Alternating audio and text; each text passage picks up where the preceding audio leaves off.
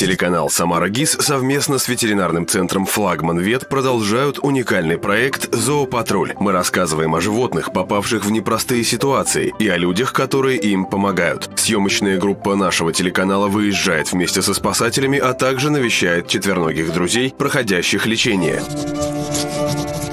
Самаре есть люди, которые никогда не пройдут мимо кошки или собаки, если им нужна помощь. Бездомному животному не только дадут крышу над головой, но и окажут медицинскую помощь, проведут курс реабилитации и постараются найти новую семью. За 9 лет работы сотрудники центра «Флагман Вет» спасли сотни животных, сотни приютили. В этот раз зоопатруль расскажет, как помогают собакам с переломами конечностей, одной из самых распространенных травм уличных животных. Мне. Иди ко мне, моя девочка, иди ко мне. Ай, да красавица, ну что за молодец? Ну что за молодец, Клёпа? Ну какая умница. Клёпа, Клёпа. Пойдем ко мне сюда. Клёпочка, иди сюда. Ай, ты моя девочка. Клёпа заново учится ходить. Почти полгода собаку лечат в ветеринарном центре, куда она поступила с переломами сразу трех лап, множественными ранами и тяжелым инфекционным заболеванием – энтеритом. Сотрудники службы спасения ветцентра забрали ее с территории Кировского рынка после звонка неравнодушных горожан, обнаруживших травмированное животное. Скорее всего, Клёпу сбила машина. Путь ее лечения долгий. Сначала три недели боролись с энтеритом, потом взялись за восстановление конечностей. У нее была сломана, если я правильно помню, вот эта лапа и вот эти две. Там были открытые инфицированные переломы, то есть у нее торчали в области предплечий. Первым этапом было принято решение прооперировать лапы и поставить туда спицы. Это не сработало, костная мозоль не образовалась, поэтому нам пришлось переделывать э, каждую лапу и ставить аппараты Елизарова. Способ э, со спицами нам помог собрать только заднюю лапу, а передние пришлось переделывать.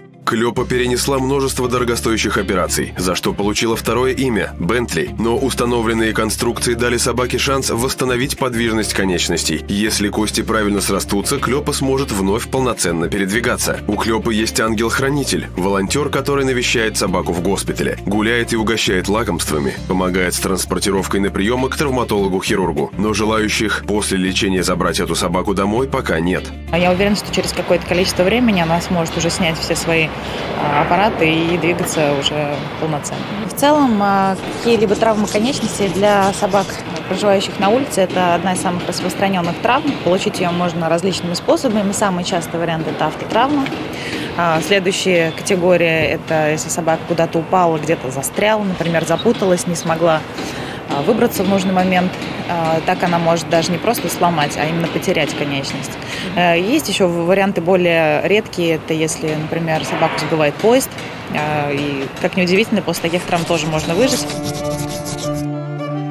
Эта пациентка поступила в ветеринарный центр недавно с переломом лучевой кости. Ей помогла Анастасия, обратившая внимание на собаку, которая держала лапу на весу. Видела, что бегает собака, потому что ну, у нас так непривычно. Подошла, покормила ее, увидела, что сломана лапа. Спустя часа два, наверное, она оказалась вот так же здесь. Решила позвонить в приют, спросить, как быть. Стало очень жалко, поэтому стала думать, что делать, как спасти. Иначе бы, мне кажется, она бы умерла здесь.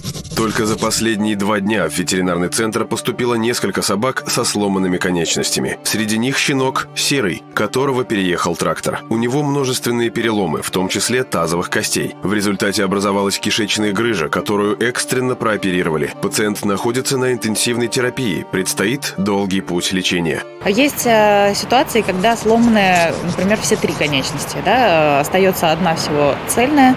А, И это, конечно, одни из самых сложных ситуаций. А, Когда животное тяжело реабилитируется, а, оно находится в лежачем положении очень длительное время. А, Эти переломы собираются многоступенчато. Также в группу риска входят открытые переломы. Потому что, как правило, у бездомных собак они сразу же инфицируются. Есть определенная группа переломов, она тоже очень сложна. Это переломы таза, тазовых костей. А, Очень непредсказуемая, очень непростая. Есть многооскольчатые переломы таза, есть перелом таза с сильным смещением. А Чем они опасны?